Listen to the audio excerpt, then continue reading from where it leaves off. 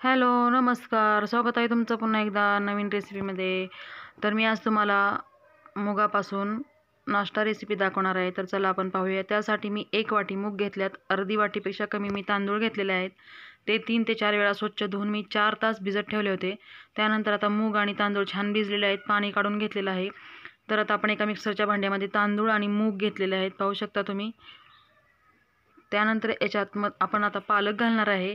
तर पौष्टिक असा आपला नाश्ता तयार होणार आहे. मस्त असा टेस्टी तर त्यासाठी मी थोडीशी पालक घेतलेली आहे. म्हणजे चिरून घेतली तर अर्धी वाटी आहे. पाहू शकता तुम्ही. आणि असे पानं घेतली टाकी तर पाच ते सहा पानं आहेत त्याची. तर आता ही पालक ही घातलेली आहे मिक्सरमध्ये आता आपण हिरवी मिरची घेणार आहे. तर इथे मी तीन हिरव्या मिरच्या घेतलेल्या आहेत. तुम्हाला तिखट जास्त हवं असेल तर तुम्ही तुमच्या आवडीप्रमाणे जास्त कमी घालू शकता. इथे मी तीन हिरव्या मिरच्या घेतलेल्या आहेत. त्यानंतर आता आपण लसूण पाकळ्या घालणार आहे. तर त्या चार ते पाच लसूण पाकळ्या घातलेल्या आहेत. मिरची लसूण याने टेस्ट खूप छान येते. त्यानंतर आलंही घालायचं एक इंच. चवीनुसार मीठ घालायचं आहे आता इथे मी थोडीशी कोथिंबीर घातलेली आहे. आता चवीनुसार मीठ घालूया.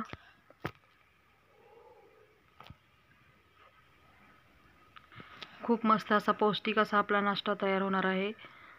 तर पाहू शकता आता मीठ घातल्यानंतर आपण हे थोडंसं मिक्सरमध्ये फिरवून घ्यायचं आणि त्यानंतर पाणी घालायचं आहे आणि बारीक असं पातळ बॅटर तयार करायचं आहे आपल्याला.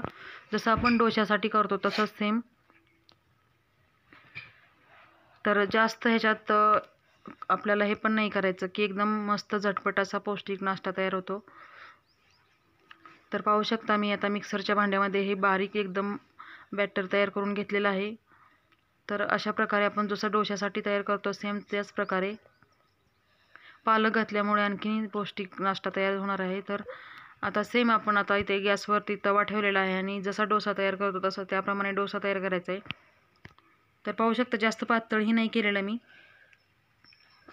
आणि तुम्ही हवा तेवढा पातळ डोसा करू शकता किंवा उत्तप्पासारखं कांदा घालूनही तुम्ही बनवू शकता. खूप छान टेस्टी असे हे हे डोसे खूप मस्त आणि हिरव्या चटणीबरोबर किंवा तुम्ही सॉसबरोबरही खाऊ शकता. तर मस्त असा सगळ्यांच्या आवडीचा हा पौष्टिक असा नाश्ता तयार झालेला आहे.